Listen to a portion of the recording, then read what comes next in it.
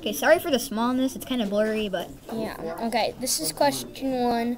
It says the graph below represents a line linear equation, and it says using this graph, which value best represents the y coordinate, and if the x coordinate is what is that?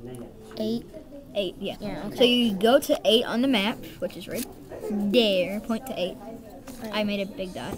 No, I go up to the, where it is on the graph, and then you go across to what it is on the other side, which is 16 so because you have sixteen is the see here because you go 2 times 2 equals 4 4 times 2 equals 8 and then 6 times 2 equals 12 so 8 times 2 equals 16 That's it. so the answer is 16 Thank you.